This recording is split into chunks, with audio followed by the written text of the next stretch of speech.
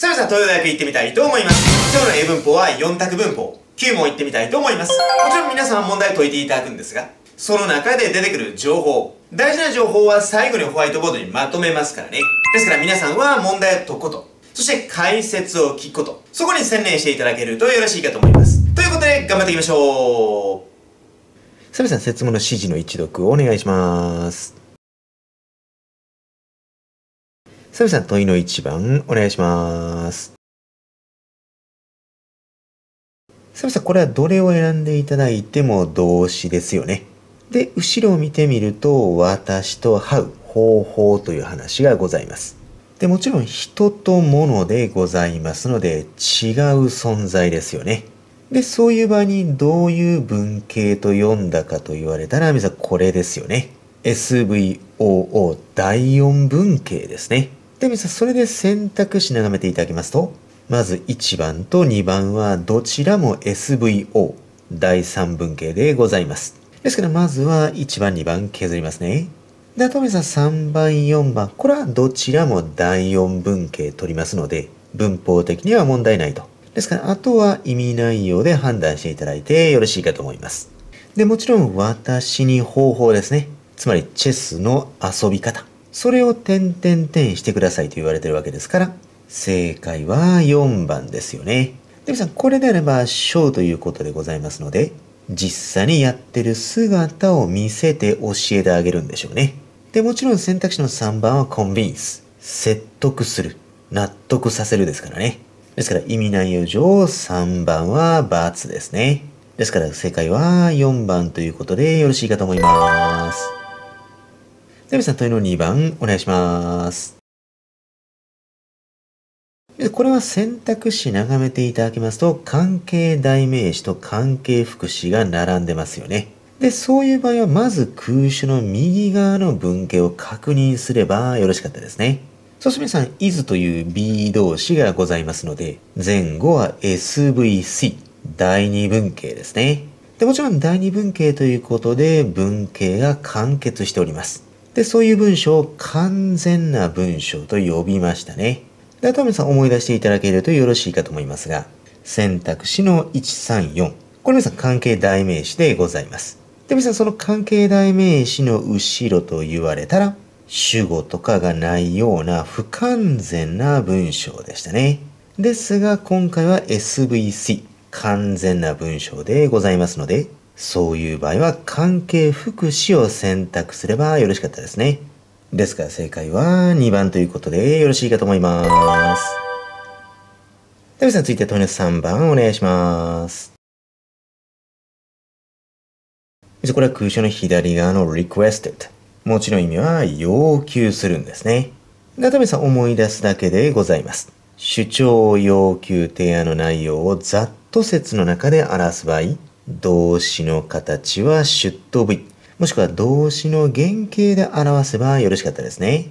ですが、まずその段階で2番と4番削りますね。あと皆さんちょっと話変わりますので、色分けさせてくださいね。で、皆さん残った選択肢1番、3番、discuss。もちろん議論したよ。なにょということですので、他動詞ですね。で、皆さん後ろに目的語ありますか？と言われたら、the matter ありますよね。ですから他動詞の後ろに目的語がある場合は、受動体にしなくてもよろしかったですね。ですから3番×。よって正解は1番ということでよろしいかと思います。ダビさん問いの4番お願いします。さあ、これはノーうにゃうにゃ関係詞ときたらもうあれで一発ですよね。もちろん正解は2番ですよね。No matter 関係詞。これが関係詞プラス ever。まあ、例えば今回だったら wherever ですね。それと書き換えることができましたね。ですからその知識を聞いてる問題でございますので、2番が正解でよろしいかと思います。さあ続いて問いの5番お願いします。まずこれ空所の左側に接続詞の that がおりますので、空所のところには動詞が必要ですよね。ですから、まず動詞ではない3番と4番を削りますね。で、トメさん選択肢の1番か2番かということですが、選択肢の2番は三人称単数の S がついてますよね。ですから主語が単数か複数かを確認するために空所の左側を見ると一応 sisters ということで複数形になっておりますがここは前置プラス名詞で全体で M ですからね。ですから今回の主語はこちらの1。もちろん単数形ですよね。ですから三人称単数の S が必要ですので、丸1番×。ですから正解は2番ということでよろしいかと思います。では続いて問いの6番お願いします。じゃあこれ空所の右側に The Heavy Rain という名詞しかおりませんね。ですからまず選択肢の2番 Although これ皆さん接続詞でございますので後ろ SV が必要ですよね。ですが、今回はこのコンマのところまでで SV がないですからね。そして皆さん3番の however も副詞でございますので、空所の右側、この the プラス名詞にはかけられないですね。で、皆さ1番と4番であれば、共に前置詞でございますので、後ろに名詞を置いていただいて OK です。で、文法的にはもうこれ以上無理なので、あとは意味を考えていただけるとよろしいかと思います。もちろん正解は1番ですよね。Despite the heavy rain 豪雨にもかかわらずジョギングに出かけました。意味バッチリですね。で、4番であれば皆さん豪雨の代わりにジョギングに出かけました。という人なのかどうなのかわかんない話になっちゃいますからね。ですから4番は×。よって正解は1番ということでよろしいかと思います。ではさ、問いの7番お願いします。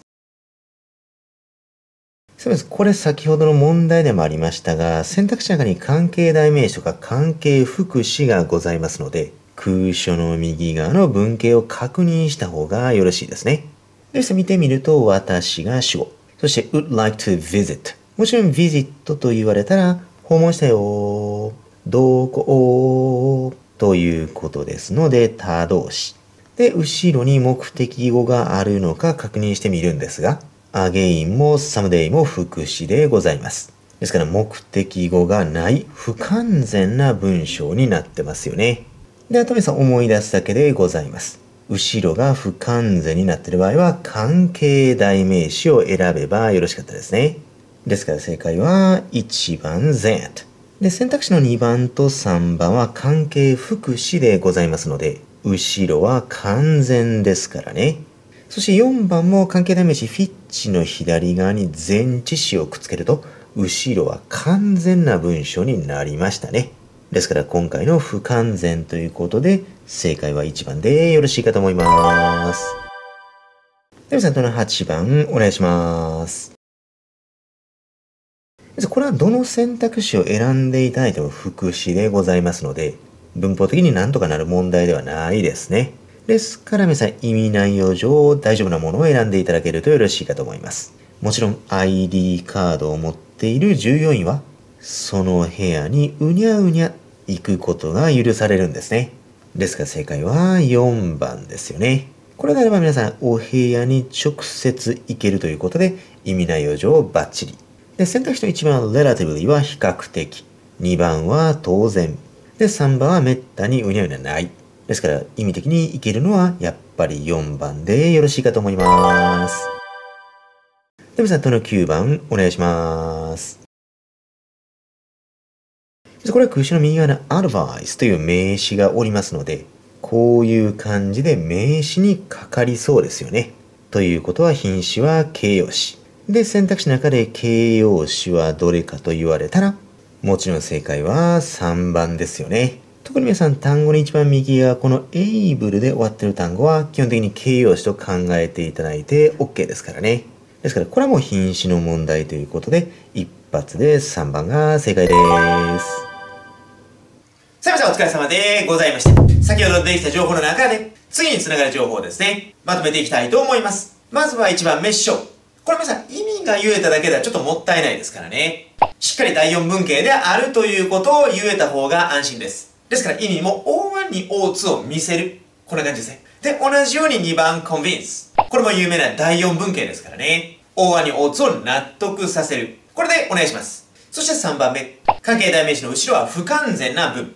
そして関係副詞の後ろは完全な文。その違いが極めて重要ですよね。そしてこれに関する解説動画はすでに存在しておりますので、このあたりが不安な方は概要欄にそのリンク先貼っておきますので、お時間よろしければこの後ご視聴いただいてよろしいかと思います。そして4番目、主張要求定の内容をざっと説の中で示す場合、動詞の形は、出頭部位から動詞の原型にしましょうね。でもちろんこれに関する解説動画のリンク先も概要欄に貼っ付けておきます。そして5番目、他動詞の後ろに目的語がない場合は、受動体や過去分詞にする。そしてこれに関する解説動画も存在してますからね。リンク先は概要欄に貼っ付けておきます。そして6番目、関係詞プラス ever。まそれは no matter 関係詞に書き換えることができました。そして7番目、この4つですね。意味だけではなく、まずこういう用法を言えるようにするのが最優先でございます。そして8番目、前置詞プラス which、もしくは前置詞プラス whom の後ろは完全な文章が来ましたね。もちろんこれに解説動画のリンク先も概要欄に貼っ付けておきます。さあ皆さんご覧になっていただいてですね、もし知らないところがございましたら、この後ノートを取っていただいて、ノートを取った後はこれですよね。赤シートで隠してスラスラ言える。そこを頑張っていただけるとよろしいかと思います。